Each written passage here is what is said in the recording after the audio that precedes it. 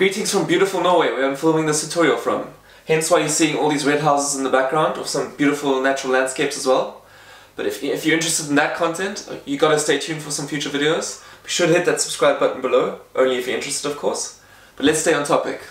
So, um, have you ever had that problem in your photos, where you've composed your shot, and you've got a strong foreground interest, as well as a strong background interest, and you want to combine both the shot and have everything in focus, but no matter how hard you try, you can't get it done in a single photo because either your foreground is sharp, but then the background is completely blurred out, or you can get your focus on the background and get that sharp, but then your foreground is completely blurred out, and none of these two photos are really what you're after in your photo. So um, there's a technique that can overcome that, which is called focus stacking, and by doing so you have to take multiple photos and get your focus on multiple points in your composition, i.e. the foreground and the background, and it's a great technique to get a photo that has strong foreground and background interest completely in focus, back to front, and I thought I'd do a tutorial on that and show you guys how to do that. So um, the way I like to structure my tutorials is by taking you guys on scene and talking you step by step through my thought process as I take all these photos. And then we'll head back here and I'll show you on my laptop in Photoshop how we can combine all of those into the final product. So let's leave Norway and head, head over to Buckingham Palace where I filmed this tutorial. Let's go check it out and welcome to Buckingham Palace. So here's the situation. Recently I was at the airport uh, traveling to Germany and I had this great idea because I went to the toy store randomly and I saw um, that they were selling these little uh, Lego figurines which are the royal uh, palace guards. So these guys are actually in the palace behind me and the idea, it is a cheesy idea admittedly, but um, why not create a focus stacking tutorial where I'll shoot the Lego figure in the foreground as well as the background separately and then show you guys in Photoshop how to combine the two so that you've got a, a final photo where everything is tack and, tack and sharp, tack sharp and focus.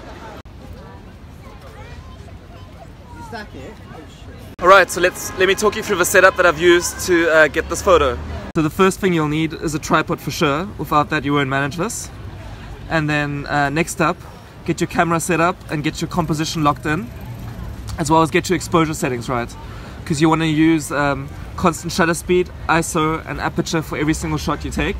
In this case, because it's a bright day, I'm using ISO 100, f11 to keep a very um, deep depth of field while retaining a lot of uh, sharpness in my shot.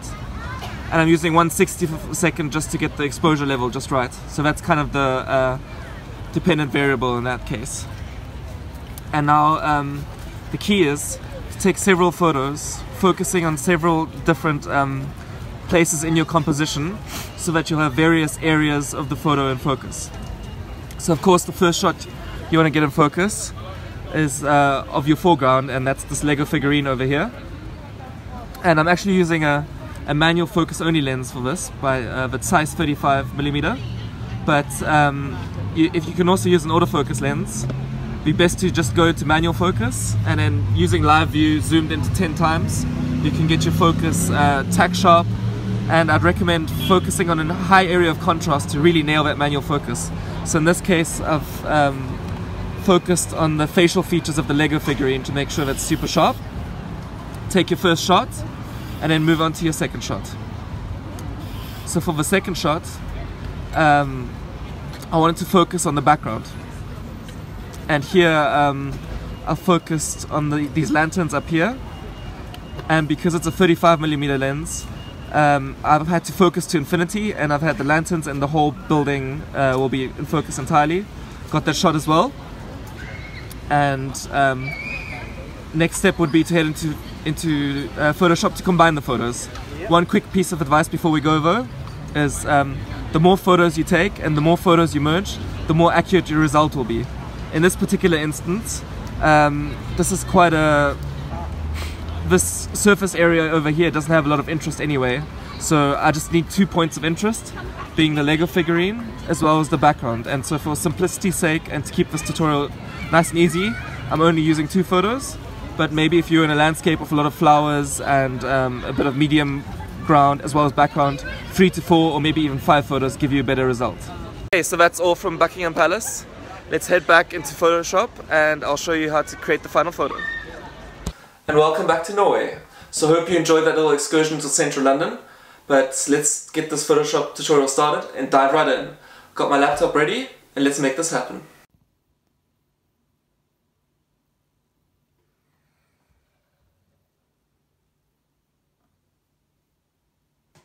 And welcome to Lightroom where this tutorial begins. So the first photo I've got here is the one where I kept the Lego figurine in focus and that's going to be my foreground. And just like it's important to keep the composition of all the various photos the same, and as well as the camera settings the same, it's also important that we keep the uh, edit settings the same in order for the photo to blend better and be uniform throughout. So in the interest of time, I've already done all these adjustments in Lightroom and I'll show you a quick before and after.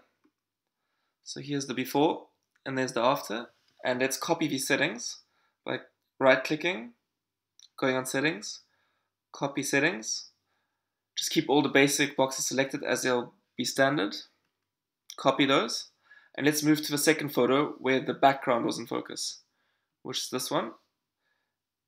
Again, the exact same camera settings were used, so if I use um, the exact, exact same um, edit settings as well, the photo should look uniform. So let's right click, go on settings again, and let's hit paste settings. Just give it a second, and great. Both, photos look the same, just the focus is in different areas. So this again is the background focus. Now let's select both photos and move into Photoshop and blend these photos together. So at the bottom, by clicking down Shift, you can select both photos right click on the photos, go on a menu called Edit In, and then we want to select Open as Layers in Photoshop. By the way, if you've already got Photoshop open, this tends to load a lot faster. Now that we're in Photoshop, and both layers have loaded, which you can see in the right pane above here, just on the side here, you'll notice that um, at the moment the top layer is our foreground, the Lego figurine in focus, and then if I quickly hide that by pushing this eye button, this eye button over here, we can reveal the background layer where you can see that Buckingham Palace is in focus. And now we need to uh, blend these two together. So um, let's bring the top layer back by clicking on the eye button again. And now in order to blend these two the best way, we need to introduce a layer mask. And you do that by only selecting the top layer and clicking this button down here which adds a layer mask. At the moment, the layer mask is entirely white, which means that the entire photo is revealed. So now we need to hide away parts of the um, first photo of the foreground in focus to bring the background of the second photo into into view as well. So essentially we need to hide the entire top part of the um, photo, which is the out of focus Buckingham Palace, in order to reveal the in focus Buckingham Palace. And the best way to do that is to use a gradient. The gradient you can find over here, which is this tool on the left pane, and the one you want to select is a black to white gradient, which is this one here. Now, looking at this photo, we need to identify our points of interest, which are very clearly the Lego figurine, which we want 100% revealed, and then in the second photo, we want the, back, the palace 100% in focus. And everything in between is essentially just negative space, i.e., this road as well as this ledge over here. That's kind of just negative space and doesn't really form part of our composition. So we can use all this negative space um, for our uh, blending region, which we're going to do right away by selecting our gradient. And because the gradient is black to white, we want to um, start by the area we want to hide entirely. So by clicking down, everything in, behind that area will be hidden and everything where we drag towards to will remain uh, visible. So let's start at the bottom of the palace, which is this corner just over here, and then drag all the way down. So um, because of the Lego figurine is quite close, I'll actually bring it all the way up until the Lego figurine's shoulders about. Give it a second, and here's our um, blending region. So you can see right away the photo is not entirely perfect yet, and we'll clean that up in a second using uh, the brushes. So um, on the left pane, can, let's select the brush tool. And I'd recommend using a soft brush as possible, as soft as a brush as possible. So set your hardness to 0%. So now we're still using the top layer and only this one layer mask. So the white uh, paintbrush reveals the top layer where we had the Lego figurine in focus. So I've got the white brush selected, which you can see in the bottom left corner. And the top of the Lego figurine uh, needs some cleaning up, so I'll go over that just to bring him back into focus and then maybe mask away these two, two people behind it. Great. Now the Lego figurine is 100% in focus, which you can see in the layer mask just here. If you click on Alt and on the layer mask, that's what it currently looks like. Here's our Lego figurine.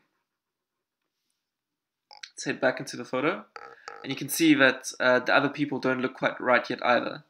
So um, by selecting the layer mask, and this time moving to the um, black paintbrush, which you can select by um, switching the foreground and background color or hitting the X button.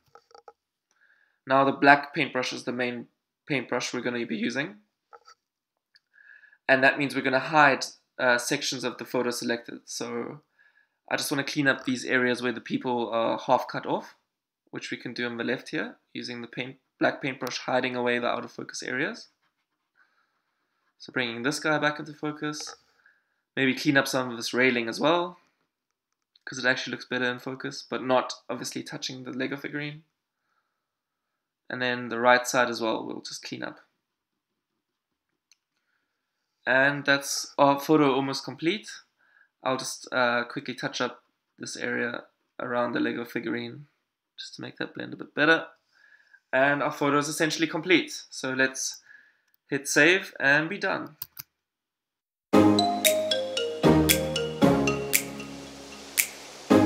And that concludes this tutorial. Hope you enjoyed watching and more importantly I hope you learned something. Now I challenge you to get out there, get shooting and apply this technique yourself. If you're happy with your results and you end up uploading any of these on Instagram, I'd love it if you tag me because I'd love to check them out. Anyway, I'm going to get out there and keep exploring Norway. But thanks for watching and I hope to see you in the next episode. Be sure to like and comment and if you aren't already, please subscribe. See you soon. Bye.